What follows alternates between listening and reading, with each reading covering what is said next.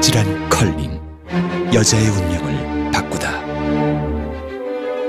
더 이상 값비싼 수입 화장품에 의존하지 않도록 운명의 마스카라 미샤 테크니컬업 마스카라 유학 대상 국가로 선호도가 높은 캐나다가 세계에서 다섯 번째로 대학생 유학 비용이 많이 드는 국가로 조사되었습니다. 14일 수요일 HSBC가 발표한 보고서에 의하면 캐나다 대학에 재학 중인 외국 유학생들의 연간 유학 비용은 26,011달러로 13개 조사 대상 국가 중 5위를 차지했습니다. 이번 조사 결과에서 가장 유학 비용이 비싼 나라는 호주였습니다.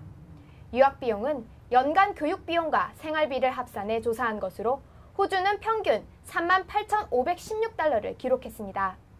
그 뒤를 이어 미국이 35,705달러로 2위, 3위는 연간 33,325달러가 소요되는 영국, 그리고 4위는 27,375달러인 아랍에미리트로 밝혀졌습니다.